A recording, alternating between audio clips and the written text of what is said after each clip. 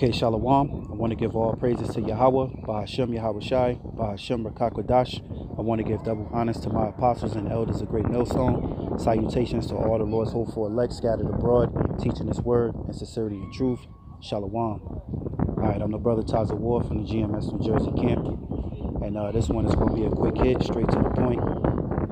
And uh, I was chopping it up earlier with the brother Mayum. We was breaking bread over the phone. And uh, this topic came up about the mark of the beast. All right.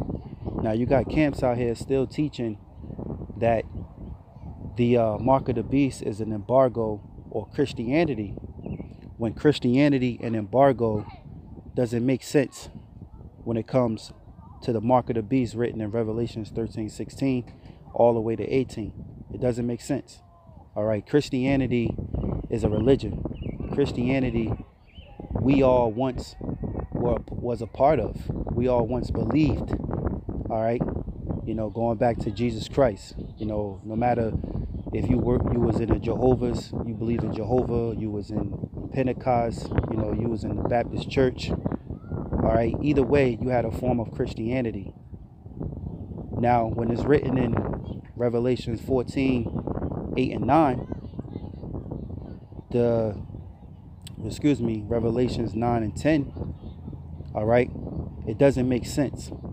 Because if you got, if the mark of the beast is Christianity, then we all, you know, should be destined for destruction.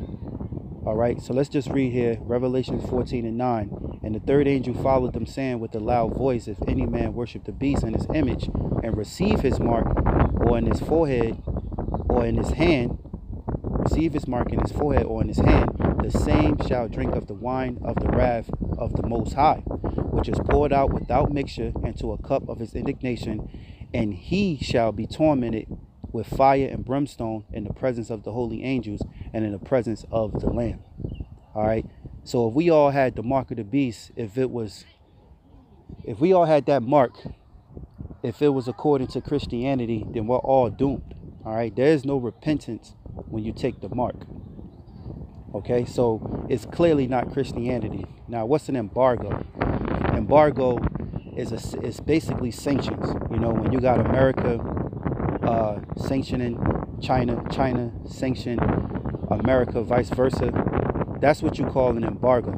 Okay, that's not the mark of the beast. The mark of the beast is something physical. All right, it's a it's a device. Well, it's a it's a physical cut that implants a device under your skin. There's a physical cut. Basically, it's a physical cut. Okay. So let's read here, and I'm gonna try to make this fast because it's really two words I really want to go into, which is Mark and 603 score and six, to prove, all right, that this mark is physical. All right.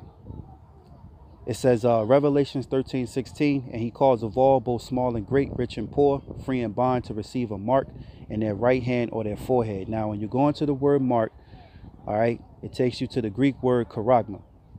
Charagma. All right. And uh, for you newly fruit, new brothers, you know, you got a lot of camps out there, Israelite camps, all right, that are two things. They either ignorant to this knowledge of the mark of the beast, and they could be sincerely not uh, ignorant. Secondly, or they prideful, all right, and majority of them is really prideful, because uh, here at Great Millstone, our, our elders and apostles here, starting with Apostle Tahar, been teaching all right, the truth about the mark of the beast for years now. All right. So it doesn't make sense. You know, if you call yourself a prophet of the Lord, a teacher of the Lord, and you're you're not, you know, truly building a hedge for the Lord's elect, building them up for the day of the battle. All right, shame on you. All right, the scriptures say, "The knowledge and wisdom shall be the stability of thy times." So, what is going to be our stability? The knowledge of knowing this truth and the wisdom, which Revelations 13, 16 through 18 gets into. The knowledge and the wisdom, knowing and applying wisdom with understanding. All right. Now, our elders apostles here teach us to get into words and uh, the water Yahweh Bashem Yahweh for our apostles and elders, bro because um, it truly gives you more enlightenment to the scripture. And importantly, it gives us that full assurance of faith. All right? Full assurance of faith as the scriptures get into. I believe Paul said that having a full assurance of faith. All right? So you don't have, you know, no um if is this the word schism So you don't have no uh interruptions, no no amazement. All right. You know, no uh there will be no as the scriptures say, you can't gainsay against the truth because you have a full assurance of faith. All right. So the word charagma, quickly, charagma, meaning a stamp and imprinted mark, all right, of the mark stamped on the forehead or the right hand as the badge of the followers of the Antichrist. Now, anti just means against, Christ means anointed Christos. Going into the word Christos just means uh, against the anointed. Now, there's many antichrists. I believe that's in James or is it John? Uh, there's many antichrists because there's not one man, as Christianity tells it, you know, one man that's going to rise out of nowhere and he, that's Satan himself, and everybody's deceived. They're gonna love him, and when he gets in office, he's just gonna destroy everybody. You know, he's gonna fight against the heavenly Father, who they ignorantly calls God, which his name is Yahweh. All right, anybody who's against Yahawashi is the Antichrist, and there's many Antichrists. All right, so just to clear that up, it says the mark branded upon horses, thane carved, sculpture, graven work, of idolatrous idolatrous images. All right, so charagma means a stamp or imprinted mark. Okay, something stamped on the arm, imprinted. All right, something up under the skin, imprinted up on you. All right, like a brand you put on horses. Now, some people may think that this is a tattoo. All right, it's not a tattoo. Okay, now it says thing carved because you carve into something. Now, some people may think this is a tattoo, but this is not tattoo. All right, if you go to Leviticus, matter of fact, I got it in my notes. I just quickly say it. Uh, when you go to Salakia, when you go into Leviticus 19 and 28, the, the uh, Hebrew word there for mark is kwai kwai. Kwai kwai means incision, imprintment, tattoo, mark. Okay? So that's the difference. And then you have Ezekiel 9 and 6, which is the word mark in Hebrew. That word is the Y. The Y means what? Exemption from judgment. So yeah, the elect will have a mark, but not the mark of the beast. It would be a mark, which is the Hebrew word, the Y, exempt from judgment. Whose judgment? Yahweh Bashem Yahweh judgment. All right. So let's continue. Revelations 13, 16. And he calls of all, both small and great, rich and poor, free and bond, to receive a mark in their right hand or their foreheads. Okay? So knowing that it's something branded, this is physical. It's not Christianity, it's not an embargo. That's bullshit. All right? So it's something print, uh, something physical and branded and pricked. All right? It says uh, in the right hand on the forehead. The right hand on the forehead is just an indicator, meaning that you have basically, you know, we're gonna get into the word. I want to jump the gun, but um, right hand and forehead is an indicator, you know. So you can have this mark in your left leg, you can have it in your left toe, your left butt cheek. All right. It says right hand or forehead, and there's many videos to show you where people already have taken this chip. There's many plenty videos out there where you have paraplegics and many other men, women who have taken chips in their foreheads. You know, you got something called super soldiers.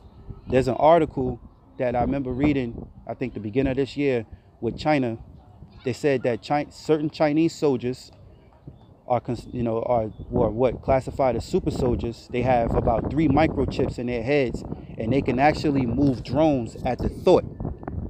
You know, three chips in their foreheads implanted, and they can move drones at the thought, just thinking of it and, and telling it what to do. You know, if you understand the madness, okay, of our of the enemy Esau, our number one enemy Esau Edom, then you will understand that this stuff, that um, we're prophesying about, these things that we're prophesying about, it's not far fetched, man. you can laugh all you want and think it's a joke. Esau is that sick. He's that wicked, man. All right. The whole thing, the whole agenda is that they merge humans with technology so that we could be what? Transhumans. So let's continue. It says, uh, verse 17, that no man might buy or sell save he that had the mark or the name of the beast or the number of his name. And you can clearly see that going in society, that we're, com- we're, we're driving down this road and coming into this society where everything is cashless, everything is digital. Eventually, you won't be able to buy unless you have this chip, unless you have this mark of the beast. Okay? They click just in, in, in, a, in a one day. And one day, they changed the way we live. In one day. And that was due to the fact of what they call this C19, the coronavirus. Now, the instance to certain stores, you got to have masks and gloves. You know, now they lighten up, you can just wear a mask. But it's coming to a point where we head into that season where they're going to force vaccines. So it's going to come into a point where you can't get into certain establishments unless you got a vaccine. Now, there is reports. I remember uh, seeing a video uh, dealing with Trump, but it was his one of his spokesmen, and she was speaking and answering questions about is Trump going to force everyone to take a vaccine? Now, according to her words, and speaking on behalf of Trump, Donald Trump, he said that it's not going to be a force as if they're going to grab people out of their homes, but it's going to be equivalent to the flu vaccine, whether you want to take it or you don't. Now, me and a brother was breaking bread early this morning. Me and my uh, my uh, my um, uh, you know, and we were speaking on this and how it still is going to be forced. It's still going to be forced because if you got certain uh, establishments, stores, you know, restaurants, movie theaters, certain events that you can't get in unless you get vaccinated, that's their way of force. So everything they're doing is is basically behind one word called gradualism.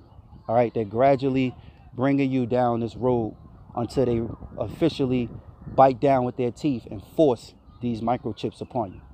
Okay?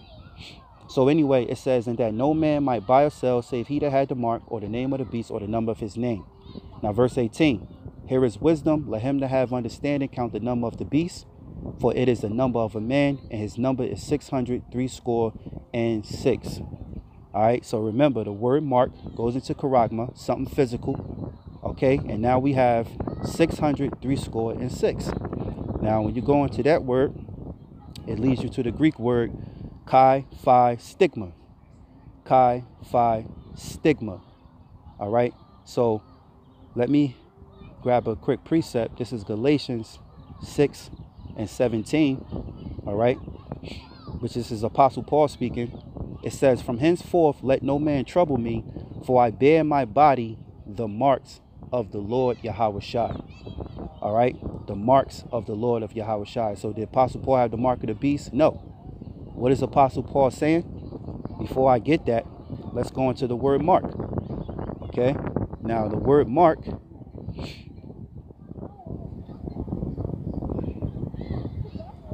The word mark